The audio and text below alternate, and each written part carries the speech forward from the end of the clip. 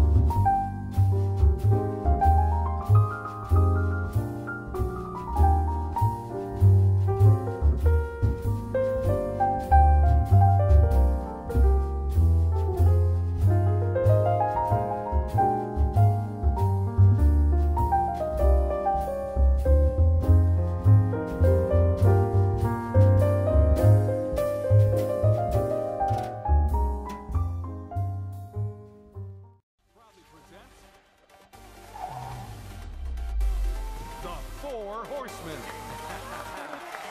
Thank you. Tonight we would like to try something that will, well, set us a bit apart. For our final trick, we're going to do something never before seen on a Las Vegas stage.